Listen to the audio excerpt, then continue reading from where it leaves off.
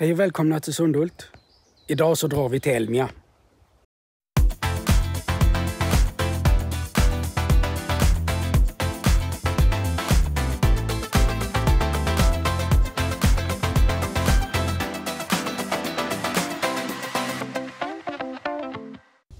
I lördags den 4 juni så var det ju en stor dag. Jag vet, jag fyllde år, jag fyllde jämnt också, men det är inte det jag tänker på nu.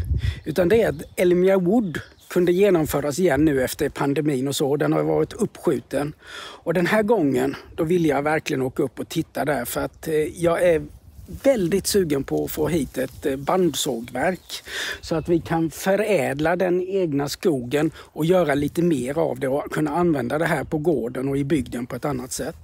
En annan sak som är väldigt, var väldigt spännande att få se, det var ju Malvas nya elkombimaskin.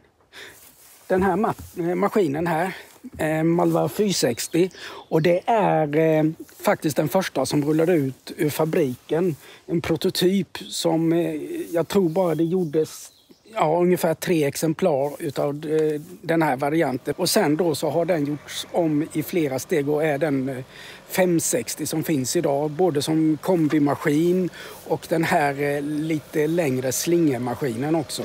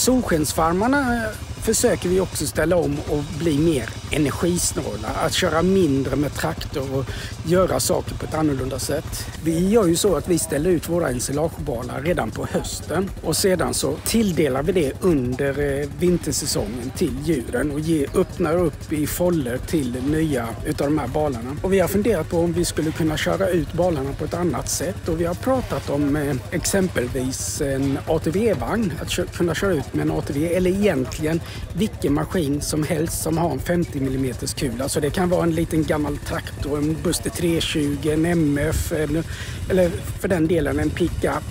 Och då har vi olika alternativ. Om en maskin skulle krångla så kan vi använda flera olika maskiner för att köra ut våra balar. Och det fanns ett alternativ som visades här på mässan där man kan plocka en, eh, en ensilagebal och även byta ut och sätta på en IBC-tank. Det jag reagerar på det är att i databladet för den här vagnen så står det att den kan lasta 600 kilo vilket kanske inte är tillräckligt för alla blöta balar som kan finnas. Och framförallt då om man vill köra en IBC-tank på 1000 liter så lär den ju väga 1000 kilo. Alltså är vagnen underdimensionerad för att kunna köra en fullstor IBC-tank på även om den finns som tillbehör. Huvudanledningen för mig att åka upp till eh, Elmia det var ju för att få titta på bandsågverken. Och det hade jag verkligen möjligheter till att göra. De flesta tillverkarna ställde ut sina sågar, olika modeller och så olika prisklasser så då kunde man gå och jämföra dem. Hur ser rälsen ut? Hur ser såghuvudet ut? Vad finns det för funktioner? Hur kan jag bygga ut mitt sågverk? Måste jag byta sågverk för att kunna göra olika saker? Och så hade man möjlighet att prata lite med säljare så att de fick möjlighet att berätta om sina styrkor för sitt sågverk. Eh, några valde att berätta om svagheterna istället hos konkurrenterna snarare än vad ens egna sågverk var bra på.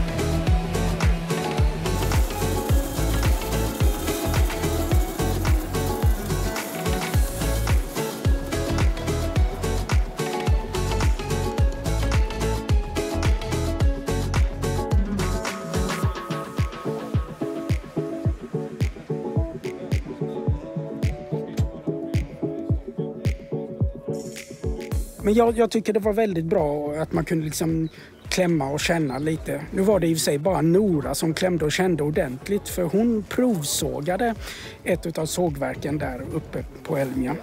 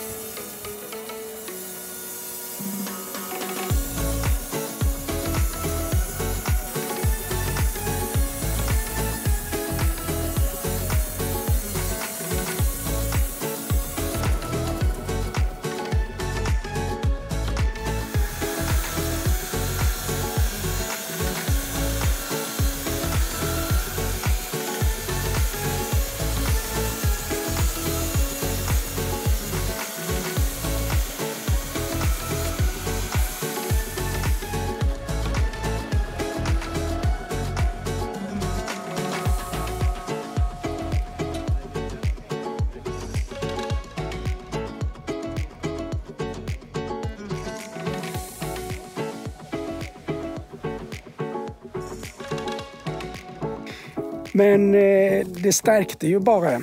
Man vill ju ha det där bandsågverket ännu mer och kunna verkligen göra någonting av skogen vi har här. Den eh, liksom förädla skogen, kunna använda dem, renovera ens egna byggnader.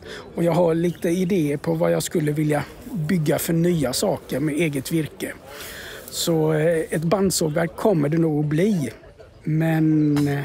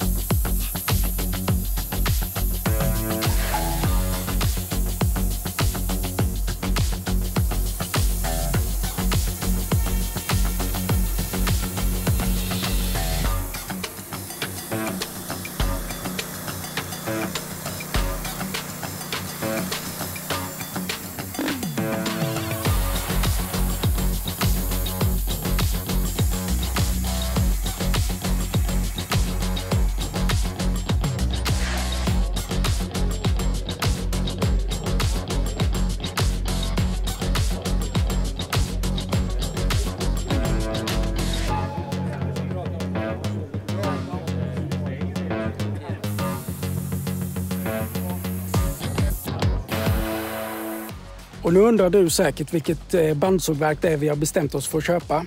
Ja, det är inte säkert vilket det blir. Vi tänker skicka ut offerter och höra oss för lite grann för att se mer liksom känslan mot företaget. Man vet ju det att man behöver hjälp och det ska vara lätt att få den hjälpen man behöver. Man vet ju hur det är eh, med saker, till exempel en sån här prototyp som denna Malvan, att det är ju barnsjukdomar. 2009 så rullade denna ut ur fabriken och det är klart att den var inte helt perfekt då. Men det är jätteroligt att se vad Magnus och Madeleine gjorde med företaget och det gänget bakom Malva och vad det har blivit sedan 2009 tills idag så är det jättespännande att se det eh, på, på Elmia, vad det har blivit av det. Och eh, där ser man ju också att varumärket vill mer än bara göra en produkt. Precis som jag brukar säga att det är med Apple eller Tesla eller någonting. När man köper någonting så är det inte bara produkten utan det är även en vision, en vilja från varumärket. Så du får hänga kvar på den här eh, Youtube-kanalen och titta vilket sågverk det kan bli. Eller, på, eller också vara med på vår Facebook-sida där du hittar oss på Sundhult eller Instagram där du hittar oss på Sundhult hemma. Och så prenumerera på den här kanalen så, och sätt på aviseringar så får du reda på vilket eh, sågverk det kan bli här framöver. När vi, eh, vi vill gärna ha det till Solskensdagen som är den 16 juli år, om det går att lösa. För då tänkte vi visa upp grejer här i Sundhult som vi brukar göra och i Kärnebygd med Solskensfarmarna av vår verksamhet, stolpverkshus och så vidare. Och då hade det varit roligt att kunna visa ett, såg, ett sånt bandsågverk för de som är intresserade. Och se om vi kan få till några riktigt bra överraskningar just kring eh, småskaligt skogsbruk där också. Eh, men tills vi har skaffat ett sågverk, tills det är Solskensdagen den 16 juli och till nästa video så säger jag hej hej från Sundhult.